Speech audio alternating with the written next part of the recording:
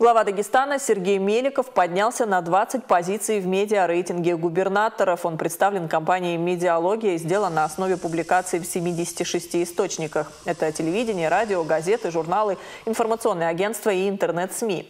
Период исследования – март 2022 года. Что стало главной причиной стремительного роста популярности главы региона, поделились политологи.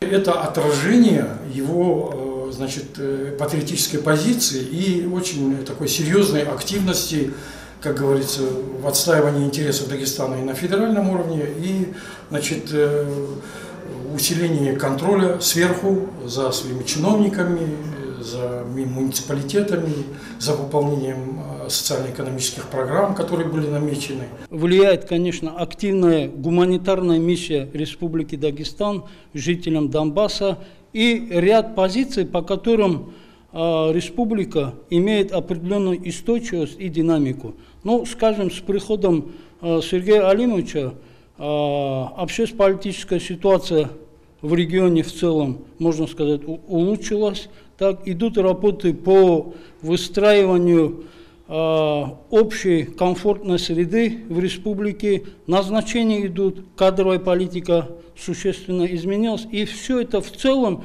конечно же, влияет на то, что рейтинг имеет популярность э, не только среди дагестанцев, а в целом среди жителей СКФО.